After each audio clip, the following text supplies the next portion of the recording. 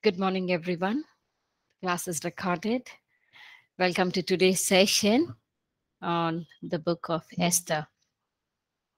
So, before we could start our class, we will start our class with a word of prayer. Dear God, we thank you, we praise you, we love you, we honor you, we glorify your name, Lord. Thank you for this new day, the beautiful day that you have blessed each one of us, oh Father. Lord, I pray that you you will bless each one of us with your grace, with your strength to lead this day. And more than anything, Lord, we ask for your favor to cover us, to overshadow us in all the area of our life. Thank you, Lord, for doing it so. In Jesus' name I pray. Amen. Amen. Thank you so much. And uh, before we can begin with our class, I'll just share the presentation with us. Okay, I hope everyone can see this.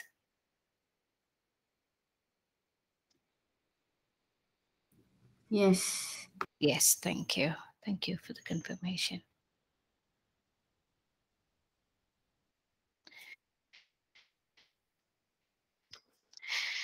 So, the book of Esther. So, what do we know about the book of Esther? I'm sure each of us have would have heard the story of Esther, or would, some of us would have had a chance to watch the movie of Esther. But what do we know about the book of Esther or the person individual?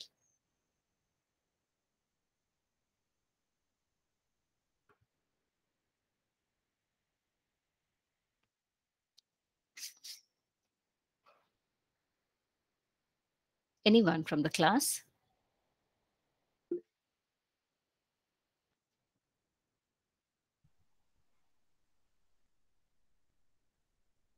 Sid, what do you know about Esther, Divya, Georgia Hamilton? What do you all hear about Esther? Ma'am, may I?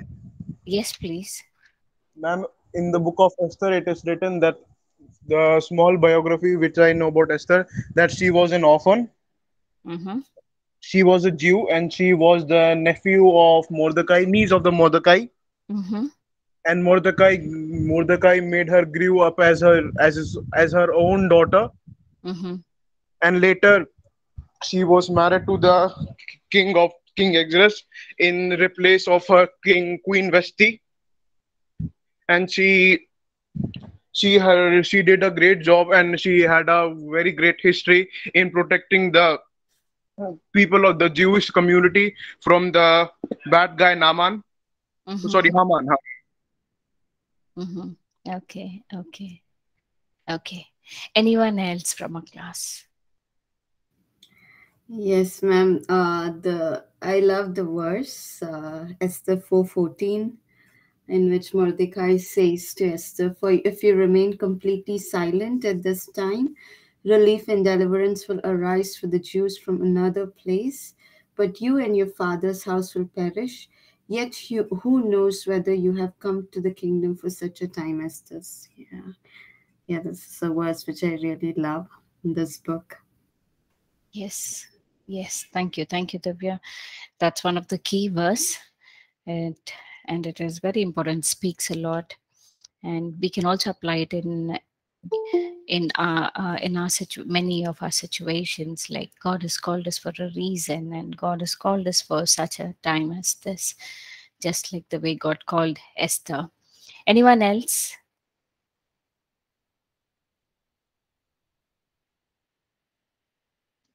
any other women in the class who have read this book of Esther and were inspired by the life of Esther? Anita, Georgia. Okay, let's start with our class. So, the book of Esther is one and more interesting book in the Bible as it is also the last book in the historical books of the Bible. So its uh, main character is named, and this book is named after the main character, Esther. Esther means in Persian language, it means a star, which denotes the star Venus, the morning star. Which shines brighter after all the other stars have dimmed. Thus, the deeds of Queen Esther, which was uh, cast a ray or the light of hope into the Israel's history during this dark season. The author, when we talk look into the author, the author is unknown, but some biblical scholars say that it may be Mordecai himself who, who would have written this book.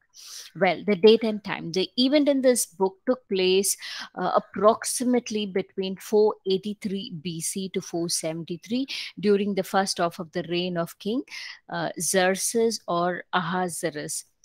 The background let's look into the background of the story. The story is set uh, uh, over 100 years after the babylonian exile of the israelites from their land while some jews did return to jerusalem like uh, remember ezra and nehemiah which we discussed in the last class many returned along with them but there were still some of the jews who stayed back in the exile so the book of Esther is about the Jewish community living in the land of Susa, which was the capital city of the ancient uh, Persian Empire. Well, at this time, the Persian Empire was one of the largest empire the world had ever seen. It covered uh, it covered about 127 provinces. For example, in today's uh, uh, in today's name, we call it Turkey, Iraq, Iran, Pakistan, or uh, Jordan, Lebanon, and Israel, and also parts of the modern day Egypt, Sudan, Libya, Arabia, and also we see the name of India been mentioned. So this king, uh, you know, was in control of these large provinces of 127. Also, at this time, Ezra had returned to Jerusalem after it had been uh, conquered by the Babylonian, and the temple has been rebuilt uh, maybe 30 years before. So, the important character in this book we get to study is. Uh, let's look into the characters of this uh, book so that uh, keeping them in our mind we can understand the story much easily so we get to see uh, the one main character as the king king Ahasuerus while some historians compare king Ahasuerus to Cambyses son of Cyrus or as a son of uh, Darius the Mede the tradition identifies him as a pretender to the throne. Now, why? He gained the power through deceit and bribery. No matter, we're not very sure about this information. This is what uh, some of the scholars and the traditions say that. But no matter how this king achieved his kingship, but he ruled over a vast kingdom.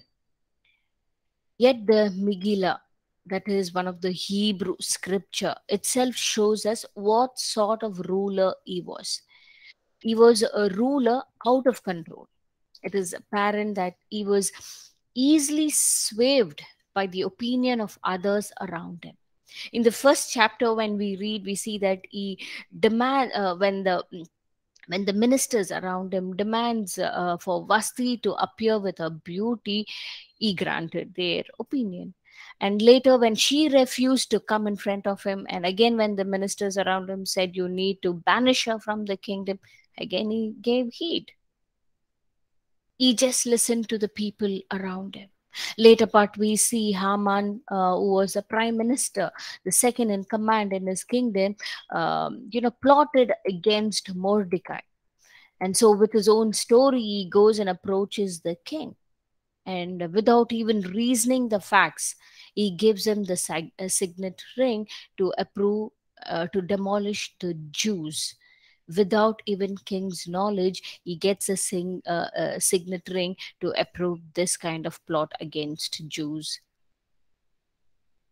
So he was, uh, in fact, it is even the uh, uh, um, so uh, even when after we see uh, the same kind of nature being continued when esther came into his life uh, uh again he started listening to Esther. But thank God that Esther was in uh, was a wise woman who could uh, give him the right kind of advice. And later we see another character in this book as Vasti.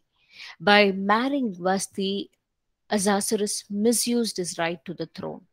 Vasti was the daughter of Belshazzar, the last Babylonian king, was defeated by Darius and Cyrus, and the great granddaughter of King Nebuchadnezzar, who destroyed the first holy temple and Jerusalem, which we looked into the book of Chronicles and the Kings.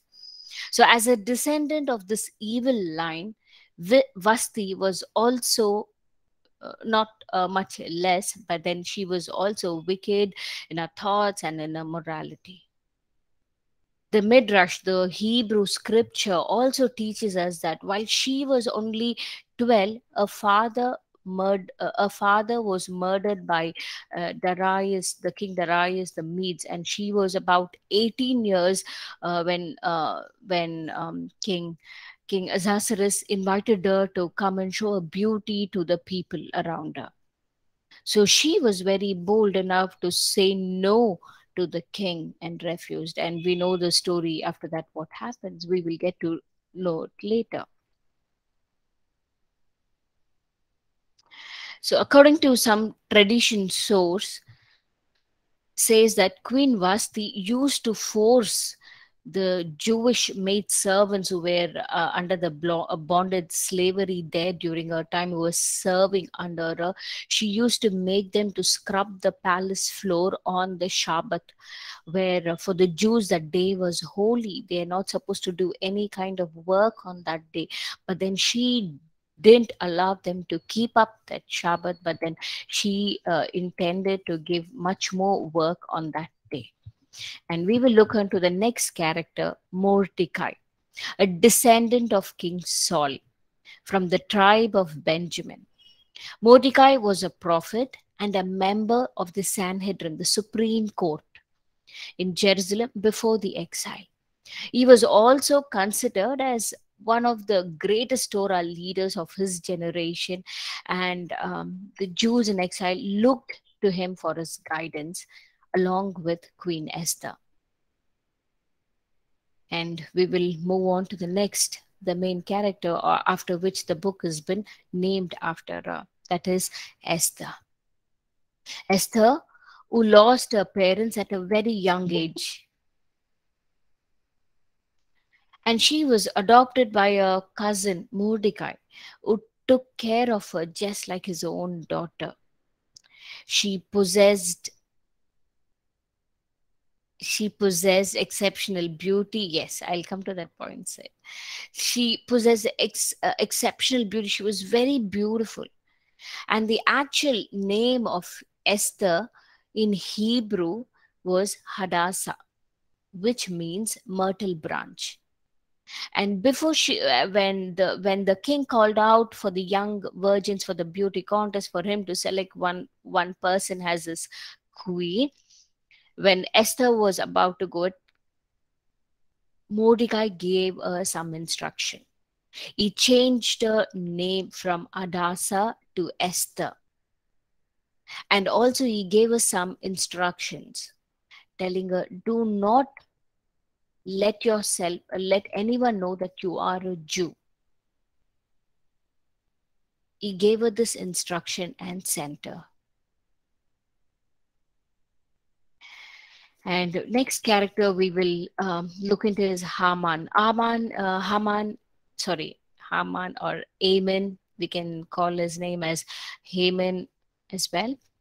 So Haman has been introduced in uh, Megillah. Uh, Megillah is again the Hebrew scripture that I said. Uh, Haman was an a Haggite or he's from the Amalekite tribe, referring to his lineage as a descendant of King Hagar. Hagar was the last king of Amalekites, the national uh, arch enemy of the Jewish people. While the Amalekite nation was destroyed by King Samuel, which we saw in the book of uh, uh, First Samuel, Saul disobeyed God's command and had mercy on King Hagar, allowing him to live. And then, when uh, Prophet Samuel heard about it, he was furious and he killed Hagar himself. But the damage was already been done by King Hagar. He had enough of time to sow the seeds about uh, about Jews to his future generation. So Haman, who's from the same uh, tribe, he carried hatred towards Jews. He wants to destroy them, annihilate them completely. And he was married to a woman named Zeresh and she was equally wicked as Haman. She hated Jews to the core, and both had the same kind of vision in their life to destroy Jews completely, abolish them from the face of this earth. And they had 10 sons and one daughter. And yes, we also covered Zeresh, Haman's wife.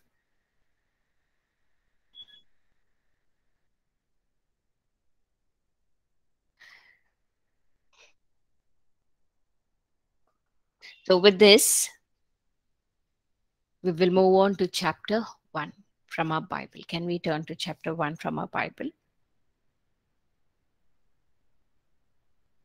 So the book of Esther opens with a description of an enormous of 180 day party thrown by King Ahasuerus in his third year as king of Persian Empire. He ruled over how many provinces did he rule? Ma'am, 127. Yes, 127 provinces he ruled. And as the day of feasting draw to close, he summons his wife. He called out for his wife Vasti as there was a great demand from his ministers to show off a beauty among them. But Vasti refuses to come. And uh, we see how King was uh, very furious at at uh, at Vasti's act, and uh, listening to all the ministers, he uh, he banishes her from the kingdom. So as the time passed, Ahasuerus realized the consequence of his action and he misses his queen. Now, the deed, however, is done, seeing that the rulers also regretted for the action that was suggested by them. So now they come up with a new idea or a new proposal to the king, saying that let's find a new queen for the king so they come up with a suggestion let's uh, you know have a beauty contest of all the uh, beautiful uh, virgins from this uh, kingdom from all over 127 provinces. So all the beautiful women are being brought to the palace and the king gets to select his new queen. So even before he could select there is a process okay there's a process that uh, each and everyone had to go through and then he get uh, then they will meet the king. And when the king meets each and everyone then he finalizes the queen.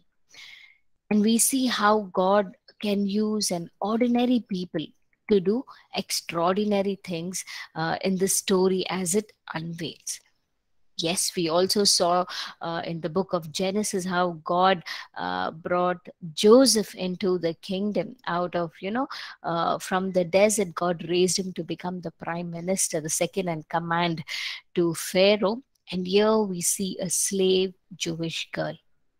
How god orchestrate things for esther in her life.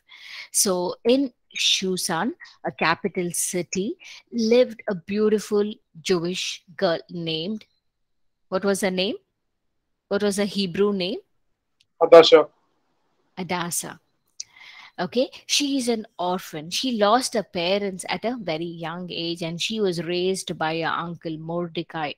Uh, okay, one was on the leader of the Jewish people in the exile. When they uh, came to take her to the palace, Mordecai instructs uh, Esther not to reveal her identity that she was a Jew and this is a family detail. It's not to reveal anything even to the fellow girls who were with her or to the eunuch- eunuchs who would be training her to anyone in the palace. Just keep it to herself.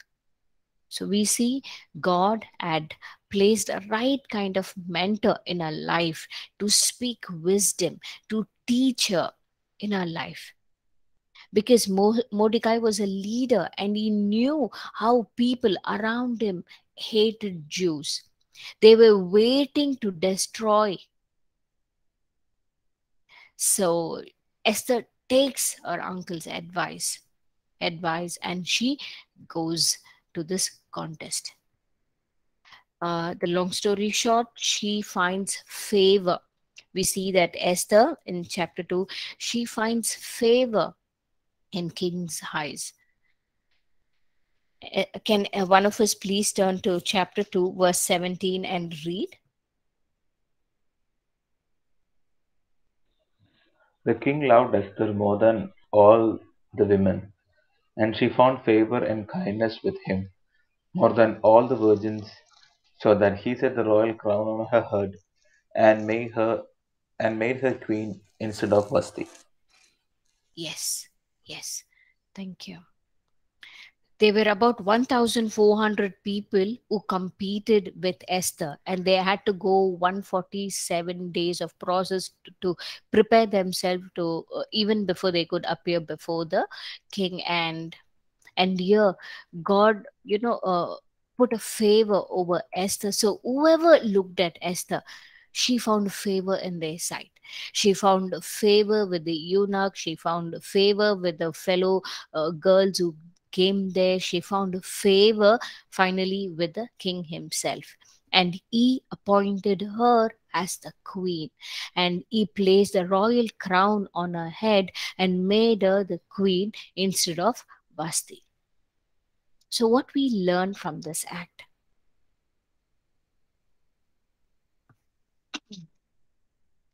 a simple young girl who was so insignificant in that in that place. She was a stranger in that land. And now she's been raised to become a queen of the same land.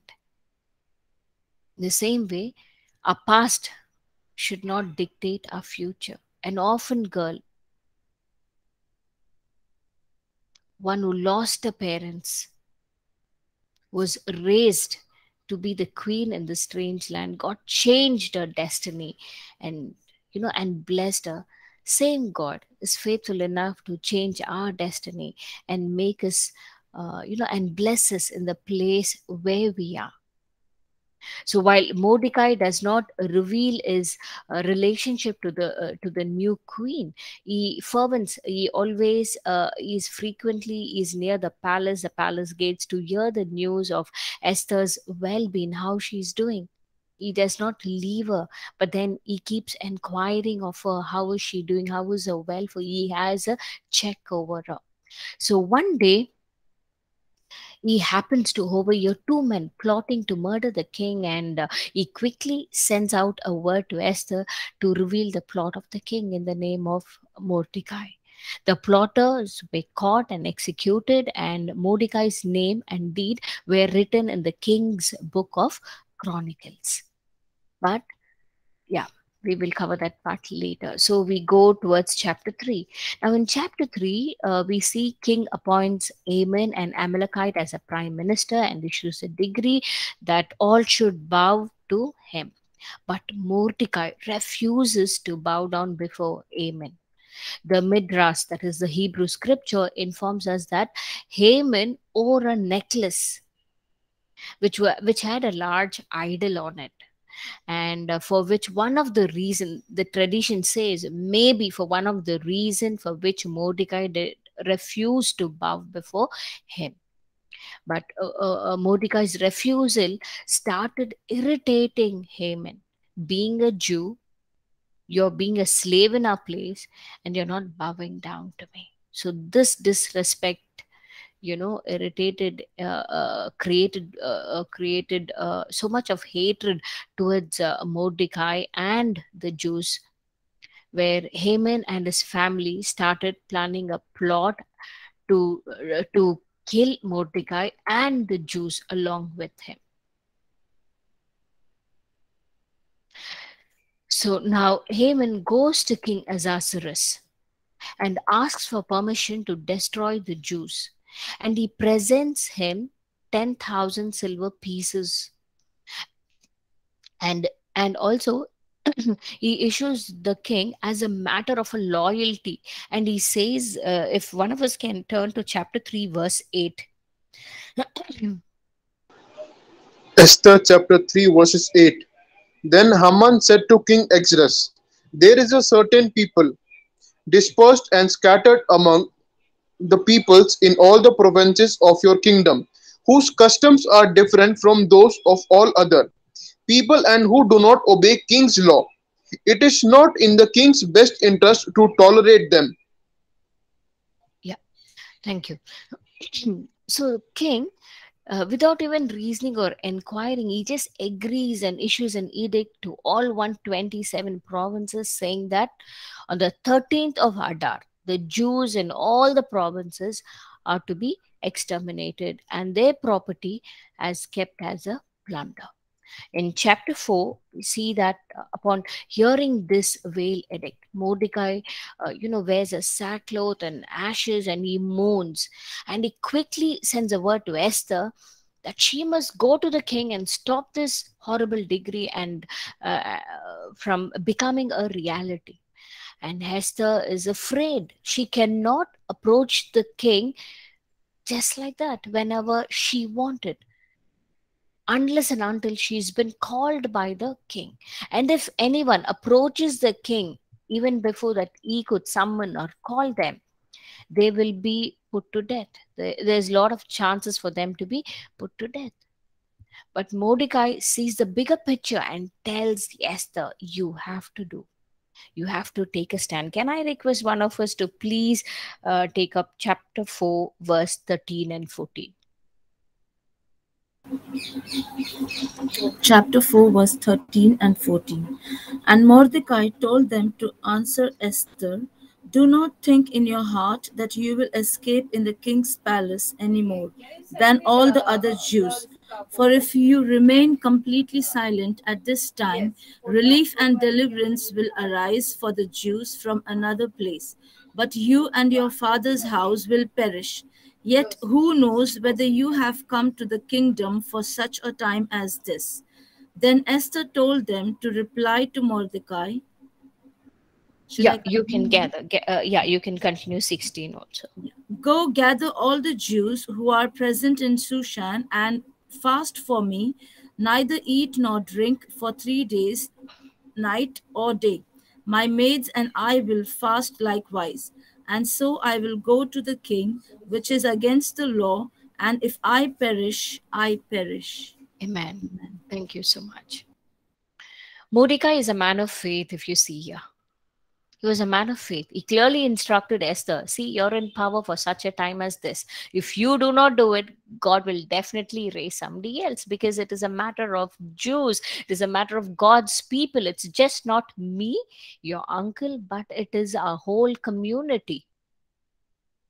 Haman is, uh, you know, uh, plotting this to kill and um, wipe out the complete Jewish people from the face of this earth.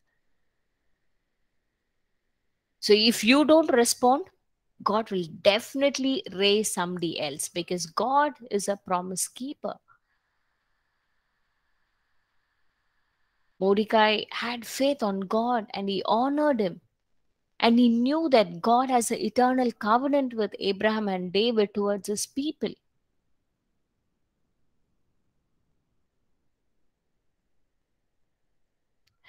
And so um, Esther been encouraged by her uncle.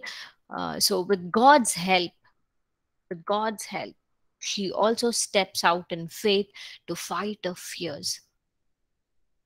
We see that uh, you know uh, uh, the verse 16 where she says uh, uh, where, where, she is asking uh, to fast for three days. She is sending, she is instructing Mordecai to inform all the Jews to fast and pray for three days, where she and her maid also will do it, so that she can go and stand before king and she will find favor front of king that god will give her that favor in king's sight. She knew her god. She trusted that god will strengthen her. Though um, you know throughout the book we do not see the name of god in it. But we see how god orchestrates things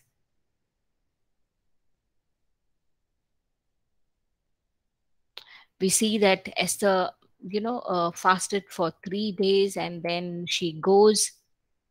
She goes uh, with great fear. In chapter five, we see that with great fear, she she dresses beautifully with all her strength. She dresses, uh, she dresses, and she wears one of the beautiful robe. She adorns herself and goes to meet the king. Esther approaches King Ahasuerus and here she walks towards his throne and she prays within her. God, take into account for the three days of fasting, which is not recorded, but yes, the whole uh, uh, meaning of this three days fast is to seek God's favor. So as she goes and stands front of king, the king uh, uh, holds out that golden scepter as a sign that he is welcoming her into the court, into a into his presence. She touches and goes, and uh, the king asks, What is your request? I may grant it. So Esther requests that king and his prime minister Haman joins her to a private feast. And this pleased the king. And he said, I will be there. So king agrees and he goes with Haman to queen's place to dine together. At the end of the feast, again the uh, king asks Esther, Ask whatever you wanted. I will give it to you, even half of the kingdom. But Queen Esther, a woman of wisdom, she was calm. Even during this time, she was very calm. She just told King that please join me for the second feast with Haman again. And again, it was approved. So after the private feast of the day one, Haman sets out, you know, he, he, he, as he was passing his home, he sees Mordecai. When the other people bow down before, uh, okay, there are some images I've got here we see other other people you know when they bow down before Haman, but mordecai is not this again stirred him up he became very furious and with this anger he goes to his home and he plots against uh, he plots uh, uh, plots along with his wife and chill uh, with the other ministers whom he has he plots to uh, kill mordecai so, what he does, he builds a huge gallows with the help of his 10 sons.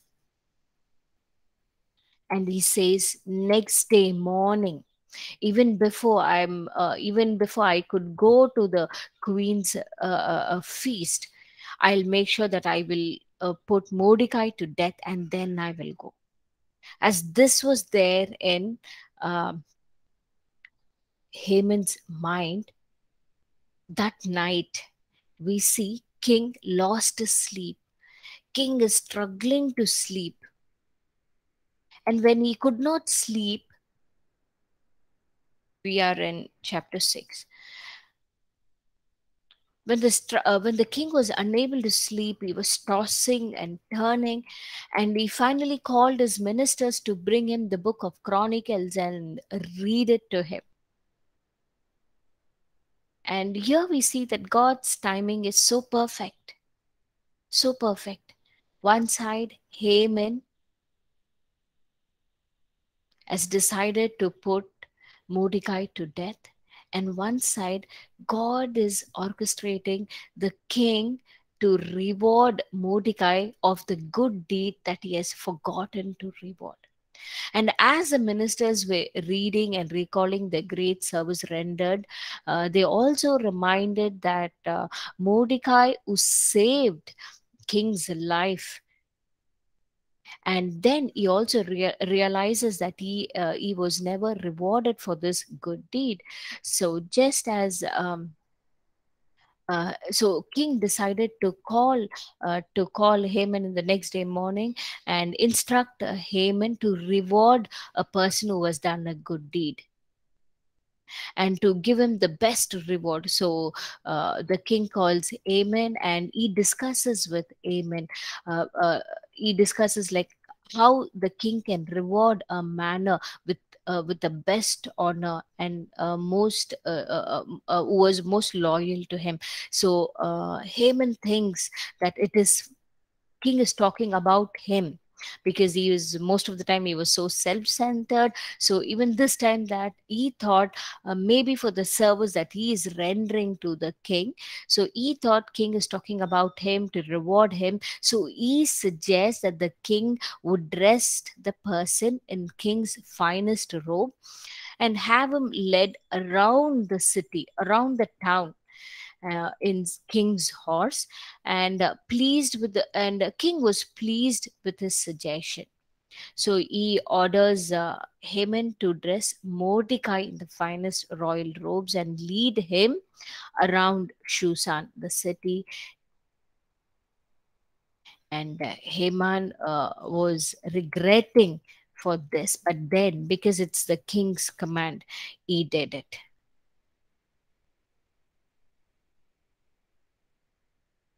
King lost the sleep and he was reading and this is the gallon which was prepared for mordecai. And here we see mordecai been seated on the horse and haman was taking him in the city of susa. And after that uh, king summoned summoned to call haman.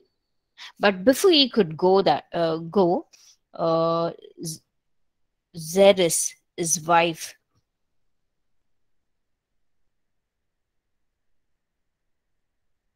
Zeres, his wife, who said to Haman, saying that if um, I I am just reading that scripture. One second, please. I'll read it to you.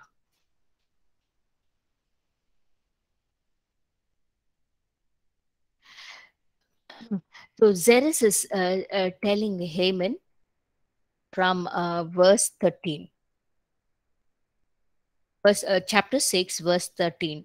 When Haman told his wife Zeres and all his friends everything that had happened to him, his wise men and his wife Zeres said to him, If Mordecai, before whom you have begun to fall, is of Jewish descendant, you will not prevail against him, but will surely fall before him. It is like, you know, his own wife prophesying against him, saying that your fall has been started. Your fall is started. Exactly like how she said. Yes, Mordecai started, God started changing the tables were turned, started exalting Mordecai, and Haman was uh, humiliated. So, after returning home, uh, when the king sent the minister to call Haman for the queen's feast, Haman rushes to be with the king at the feast. Now, as the banquet, uh, they are part of the banquet, and as uh, this feast comes to a close, Esther tells the king that someone seeks her death and the death of her people this was a shocking news to the king. In fact, he was the one who actually gave his ring to sign, but he was not aware. And uh, this news was shocking, and king demanded to know who was this man. And Esther reveals his identity. Uh, Esther reveals her identity to the king that she is a Jew and identifies Haman as an opponent enemy who actually is trying to kill me and my people and uh, king was angered with this very act and he go he steps out from that feast to the garden. And when he came back he saw that haman was on the couch with the uh, queen pleading for his life. But the the very sight that he was next to the queen uh, made uh, made a king very upset. So we see that in chapter 7 verse 7 that he arose the king arose in his wrath and the banquet and wine went into uh, the place of garden. But Haman stood before Queen Esther, pleading for his life, for he saw the evil was determined against him by the king. When the king returned from the palace garden to the place of banquet of wine, Haman had fallen across the couch where Esther was. Then the king said, Will he also assault the queen while I am in the house? And as the word left king's mouth, they covered Haman's face. And in uh, verse 9, we see that uh, Harbona, one of uh, the eunuchs, said to the king, Look, the gallows, which is 50 cubits high, which Haman uh, made for Mordecai. Uh, so immediately to kill Mordecai, this is what the eunuch told the king, and the immediately king told him, hang him on that, hang him on it. And as per his command, Haman was hanged on that gallows. And then uh, uh, again in verse 8 we see how esther and mordecai tries to save the jews and mordecai is come to the power uh, king makes mordecai esther reveals that mordecai is her uncle and uh, he found finds favor in king's sight and he's been raised as the prime minister and then both esther and her uncle uh, um, see how sees to it how they can save the jews from all the place and the king gives the control to them and gives the ring and he says y'all issue uh, i cannot reverse the decree that has been sent. But then uh, Mordecai and Esther uh, finds a way so that the Jews can save themselves. They say they ask them to prepare for a battle, face and kill all the opponents, whoever whoever's trying to kill the Jews, and in that way they fry, uh, they try to defend themselves and they try to kill all the Jews who tried to kill them. And in this way, and also um, Esther and Mordecai said all the ten sons who planned to kill Mordecai will hang on the same will they were killed and then they were hang on the gallon uh, itself and we see the hand of God here. We see the hand of God here. Uh, Mordecai, a simple man, helpless man who only trusted on, on God. We see that in uh, Zechariah. Can I request one of us to please turn to Zechariah chapter 2, verse 8 and 9? Can one of us read?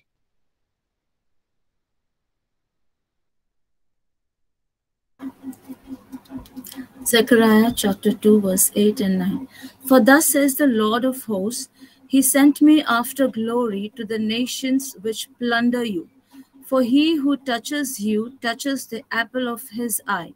For surely I will shake my hand against them, and they shall become spoil for their servants. Then you will know that the Lord of hosts has sent me. Thank you. Mm-hmm. Thank you. You see, God says, You are the apple of my eye, and whoever comes against me, I will raise my hand against them. See, Jews are always God's delight. Jews are always God's delight, even though they did not obey even though they did not obey them. But there was a faithful man, one person, Mordecai, who prayed and asked God to help. And uh, God heard his prayer. And whoever planted a evil against Mordecai and the, and uh, destroying the Jews were killed, and they were also hanged on this gallows. Especially the Haman and his two sons were hanged, and others were killed and destroyed in that battle which they had fixed so the one who plotted evil, that evil came upon them itself because the very intention of them was not right. And uh, they were not trying only to fight against the jews but they were trying to fight against the god of israel the god whom who, who, who desires who delights in israel. So god will never uh, um, forsake his people, even though they would have forgotten. Our God is a God, a covenant keeper, is a protector. He has many plans to restore Israel until day is he is in control and he is with them. He is fighting for them. So this is the place. The, uh, these are the people, the Jews, the Israelites are the people who, who have God himself with them. So the same God is with us. We are never alone we are never alone. In despite our situation despite the battle or circumstances that we face in our life god is with us. He fights our battle. Also be um, be sure that we are the apple of his eye. If anyone plans anything against us against us just like the word says no weapon fashioned against us shall prosper. And also god himself will fight our battle. When we trust on him he his hand will be against it against the situation against the evil against the enemy that trying to destroy or trying to uh, uh, trying to uh, destroy his children. So we see that Mordecai also organizes a particular practice uh, to commemorate this whole event. They called as holiday of Purim. What is Purim? Pur means lot where uh, in the story when we read in detail we get to see that haman had put lot to find out a day when he can completely uh, annihilate uh, uh, completely destroy the jews and mordecai. So um, on the same day so mordecai names that day as purim Purim, a, a, a, feast of lots, which fell on good for them. So they celebrated this festival with great meals, gifts of food, and they did a lot of charity to the poor. The day uh, before Purim, one day before that, they come, uh, they fasted to commemorate uh, Esther's three days of fasting. Through uh, through one brave act of Esther, we see that how she impacted the generation so in the same way even we can impact for generation when we step in with God.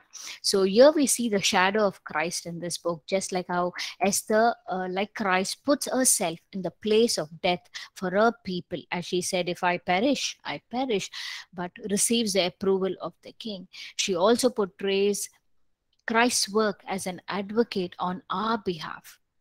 This book reveals another satanic threat to destroy the Jewish people, and thus the messianic line may be gone. But God continues to preserve his people in spite of the opposition and the danger what was ahead of them.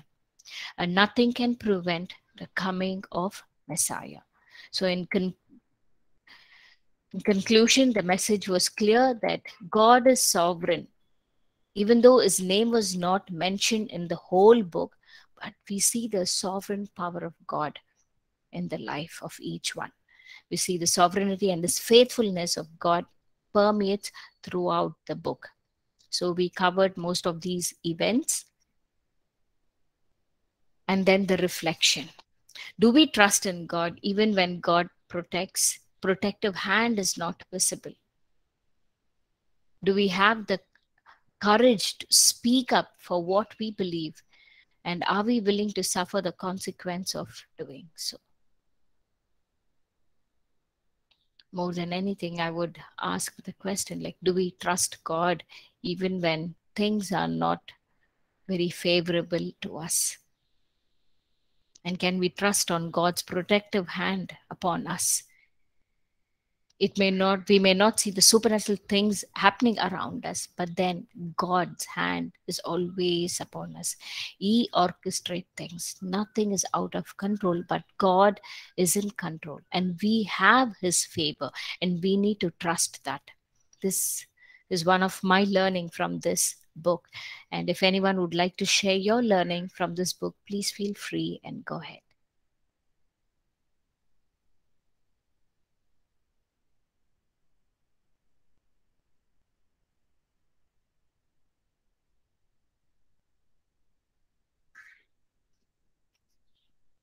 What was your learning from this book? Brother Isaac, Zelly. Yeah. Yes, brother. Yes, brother. Yeah, I learned that out of the word that your labor in the Lord is not in vain. Yes. Uh, Esther sacrificed for her people, and she was elevated, had favor for the Lord. Thank you. Thank you. Thank you, brother. Leah Zelli.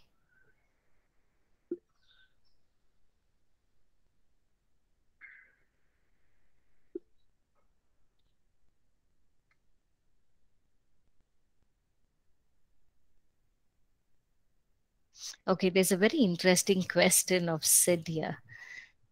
Uh, when king accepted Queen as proposal, then why she skipped it second day? Why she didn't told King about the evil desire of Haman and she did not second day? King might have killed Haman before. See, this is what we may think King might have killed uh, Haman before, but there's always God's timing. There's always you know she prayed and she had this wisdom and always it creates a curiosity when you put things delay when you delay things. You don't uh, tell it what if uh, if i or you would have been? First time itself we would have said even before inviting king to a feast we would have just uh, said the minute she found favor in king's sight and you know he put down the golden scepter for her to enter in she would have just told what is happening towards her and her people. But she invited the king to the feast she she created a curiosity in the king so that a request will be fulfilled. A request uh, will not uh, uh, have any other counter effect against it. And it worked out for her in the way she thought she planned she decided how she'll put it across. She was a woman of wisdom and of patience at the same time Yes, Divya. Divya says Esther's wisdom, humility, and self sacrifice stands out in the story. Yes. And Zelis is inspired by the Mordecai's faith. Very true. Very true. Yes, we need to have faith, a God kind of faith could bring in miracle into our life, which could move giants, which could move mountains and allow God to do work. So we need to have faith. We need to trust God. Only then God can work in and through us and intervene into the situation and change our situation in favor or in favor of us. So with this, can I request one of us to please lead us in prayer?